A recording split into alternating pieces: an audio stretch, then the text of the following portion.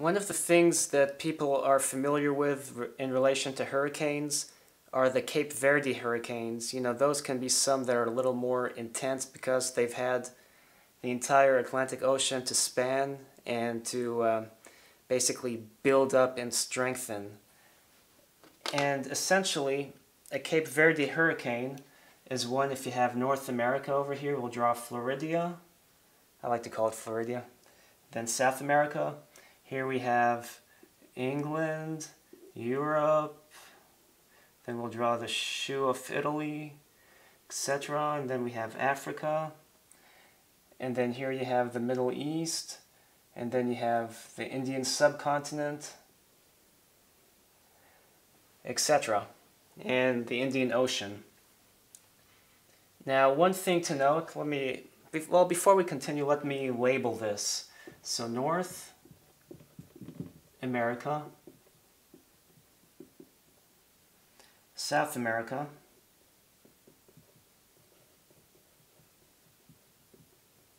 Europe,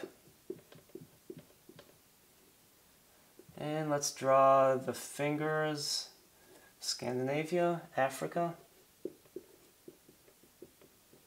India, etc. Now, down over here, actually, let me use brown. Over here we have the Ethiopian highlands.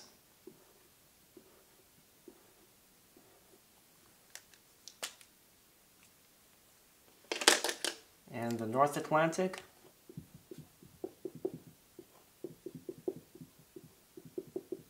South Atlantic.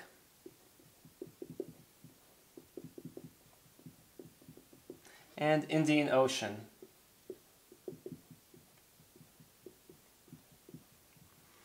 And we're going to draw the equator right along there. Now what happens is when you have the monsoon season in India, all this moisture from the Indian Ocean wants to go this way into India it gets uplifted by the Himalayas and creates torrential rainfall. But sometimes some of the air will go over the Ethiopian highlands. And as we mentioned in the previous video, when you have a mountain range and air goes over it, you, you know, you, when air goes up a mountain, you form clouds.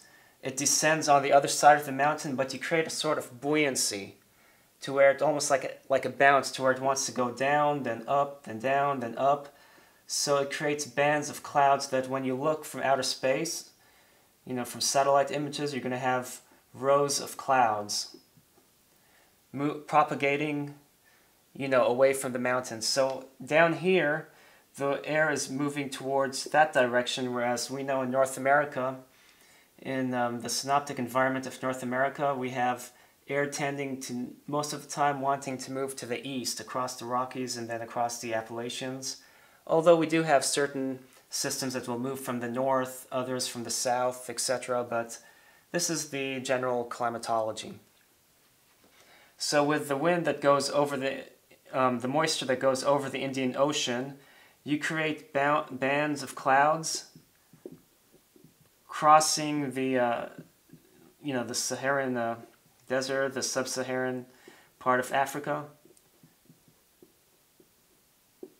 And then you get to the end of Africa and you have the Cape Verde Islands over here. And a lot of times some hurricanes will form just past the Cape Verde Islands where you end up having, you know, rotation. And hurricanes do not form at the equator. They usually form a little bit further north or south latitude because you have the Earth's spin and it causes this side to spin at a different speed than that side. So um, it's just the nature of circles as things spin. So as this is spinning, you know, and the Earth being curved, the equator moves a, a little faster, so it creates an unevenness, which is what causes part of the rotation in a hurricane you know, it's one of the contributing factors. So the westerly waves that are derived from the Ethiopian highlands that traverse Africa can eventually create a tropical storm, which can develop into a hurricane as it spans the equatorial North Atlantic.